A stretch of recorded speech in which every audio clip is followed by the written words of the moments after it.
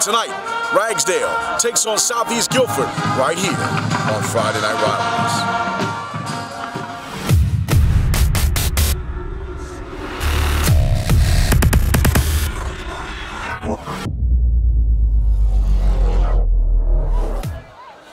Friday Night Rivalries. I'm Walter Johnson along with Alan Hooker, and we welcome you in to Ragsdale versus Southeast tonight. I tell you what, Alan, one team comes in one and four, there's Ragsdale, but they had a huge win against Northern Guilford.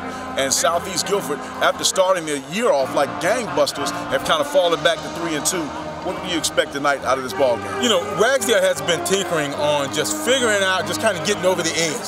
Every single game that they've played, they've been in, and just small, minor miscues has kind of caused them to be on the losing side. But that big win against Northern gave Coach Borkin an idea, this is what my guys can do. And of course, Southeast, they're coming in prepared because that guy, quarterback, Bryson, used to be the quarterback here in Ragsdale. So he has a different kind of emotion, but that big win against Dudley shows you what they can do. And of course, they hit the wall against Grimsley, but this kind of team can really turn it on. They've got some weapons here too. Right, for Ragsdale, I tell you what, Devin Hextall starts as quarterback. He has 400 yards passing, along with five touchdowns. Deshaun Collier, who we talked about earlier, this guy, 336 of his 400 yards passing has gone to Collier. So this guy gets it done. Also, four the five touchdowns. And then the big man, Carl Stevens, number 40 on defense. Oh my gosh, he's a man among kids. What have you seen the South, I mean not Southeast, but Ragsdale so far? Ragsdale's defense is one of those kind of defense that swarms around. Yeah, they've got some good bodies and the kids look good, but they're well coached. They're fundamentally sound. You're not going to fool them. So you really have to come with a great game plan. But Ragsdale, the way they handle their, their interior line is really going to be a, a contender tonight. I'll tell you what, for Southeast on the other side of the ball, you talked about Bryson Serrano. He has a lot of axes to grind tonight because he left here. He comes in averaging or throwing for 443 yards, seven touchdowns so far in the year with a huge game against Dudley. I tell you what, and on defense, this guy Jordan Dollar, oh my goodness, six foot four, 255 pounds. This guy flies around. He doesn't have a 23 tackles on the season, six of them, um, four sacks and six tackles for losses. So whenever he goes, he goes and gets. Walter, he's a power five body. I mean, just the way he looks, but he moves well too, which makes it very difficult for high school guys to be able to contend with him. He's a guy that's going to play definitely on Saturday, prime time, with an opportunity for a Sunday afternoon opportunity. Well, I tell you what, but there's another kid by the name of Cam Williams that's for Oh, Southeast goodness, yes. that is extremely special, and they do a lot of different things for him. They put him in the slot, they put him in the backfield. Hey, one more round of in the slot applause for the Ragsdale I tell marching what, folks, stay tuned for all the first half highlights right here on Friday Night Rivals.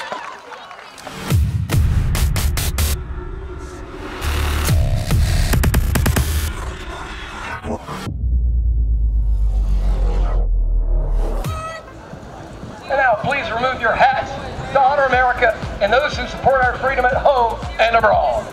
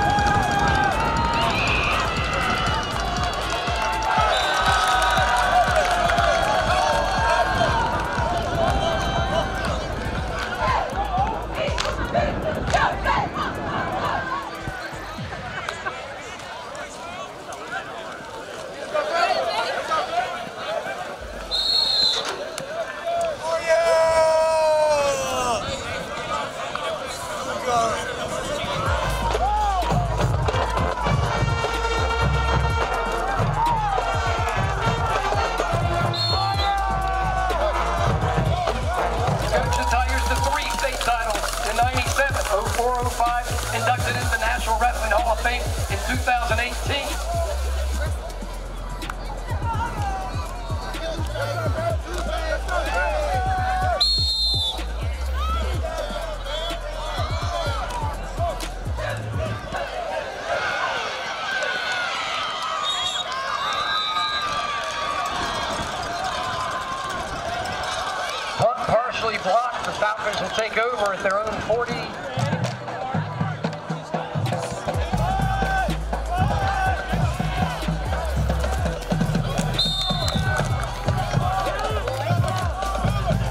Come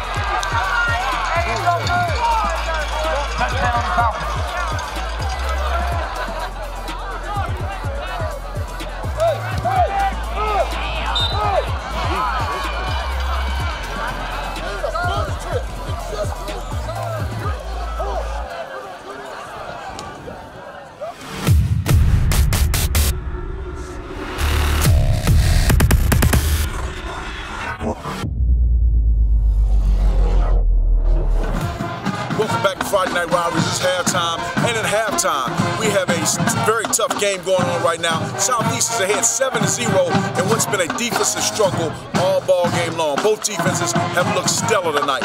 I tell you what, other than a fumble by Ragsdale with about two minutes left in the half that led to a 16 yard touchdown by Cameron Williams, this game would be all knotted up to zero. But Cameron Williams' 16 yard touchdown puts Southeast up 7 0 at halftime. Stay tuned for all the second half highlights right here on Friday Night Rivalries.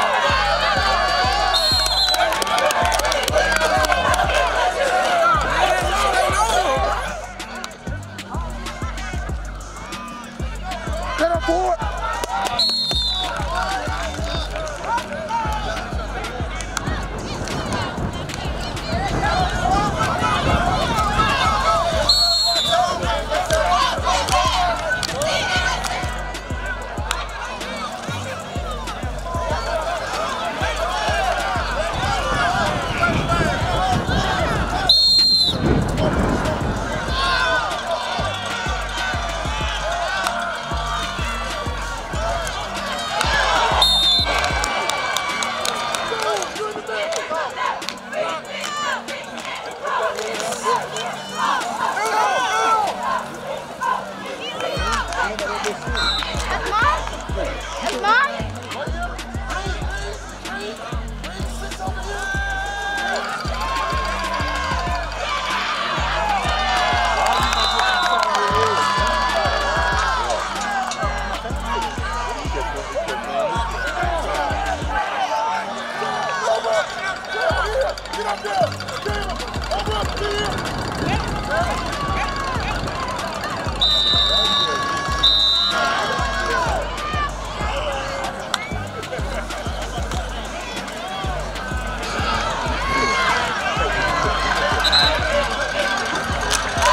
Davion Diggs on the cue.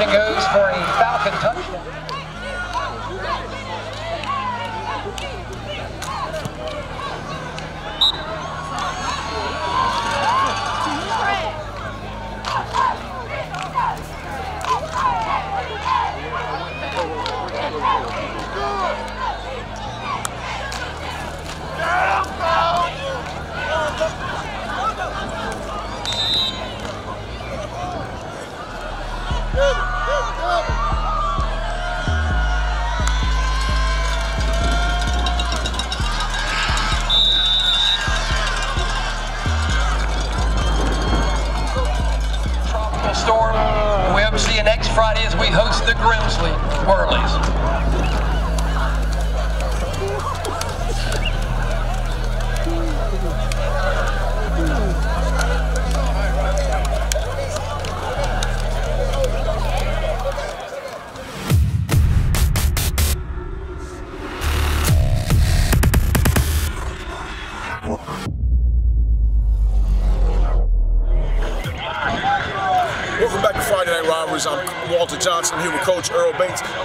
Great game plan tonight, especially in the second half. But talk to us about the first half. It was a, a heck of a defensive battle, and you all kind of got on the board uh, late. But, you know, it, was hard fought. You know, we knew the the weather with the wind would be a factor tonight. You know, they're big and strong inside, and we knew we had to throw the football. Football, but the wind kind of affected us in the throwing game, and you know we're able. Cam did a great job on that run play to get us uh, ahead, so you know, that was good for us tonight. Defensively, played very stout, had two or three takeaways. Talk to us about how important those takeaways were. You know, I just told them just just now. Defense win football games like that. That was a great effort by our defense. You know, our, our defense swarmed the ball all night long. They made a couple plays. You know, we made some plays at the end of the game. And, again, that's stuff that you need to win football games in conditions like this. Well, bounce back game for you guys because you all had dropped a couple. What did you do to motivate the kids this week in practice? Well, you know, I don't know. It was so much with me motivated. They realized, the kids realized, you know, we got a, you know, a lot of seniors on this football team. We, we beat up a little bit. Cam came back from a shoulder injury.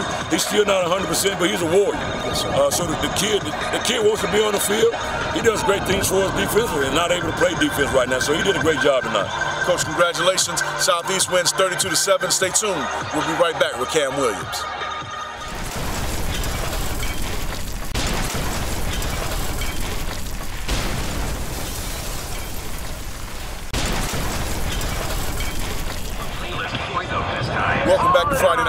Again, I'm Walter Johnson. I'm here with the victorious running back, wide receiver, the guy that gets it done, that got it done all night long today, Cam Williams. Cam, first of all, great game. Uh, three touchdowns. Especially, and you started it off with a 16-yard run at the end of the first half. Talk to us about what you saw on that play. Uh, the line blocked well. I tried to hit the hole, and help the team out. That's all. The line held up. We've been struggling. We lost the man, but we got to step it for him.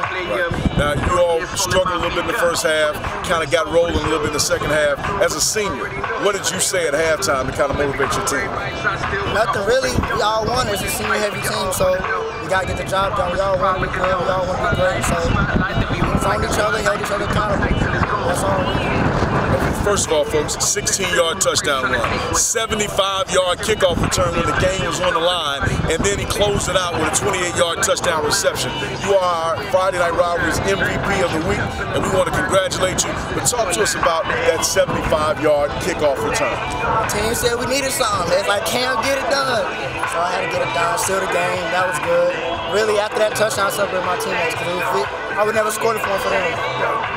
Folks, we thank you for watching me. Congratulate Cam. You'll get a chance to see all the highlights of him today. Plus, we're coming back with the play of the game for Friday Night Rivalries. Stay tuned.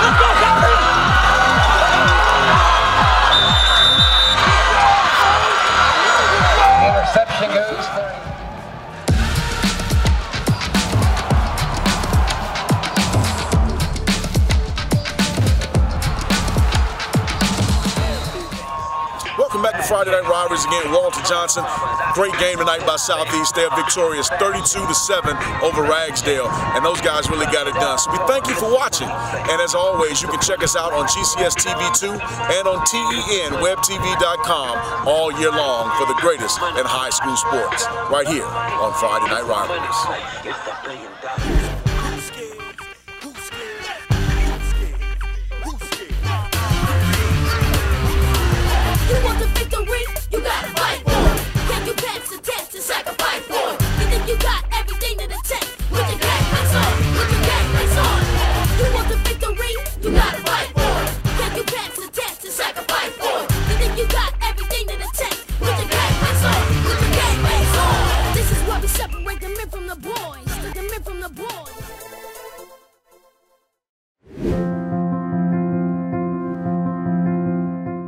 Students travel to Weaver from their home schools. We offer advanced CTE courses in apparel design, automotive technology, collision technology, construction technology, diesel technology, culinary arts, Adobe Academy, drafting, HVAC, electronics, health sciences, metals technology, and media productions. Our CTE students consistently take top honors at the national level at Skills USA and other CTE competitions. Check out our school website and our YouTube channel, Weaver Stairwell Sessions, to see and learn more about Weaver Academy.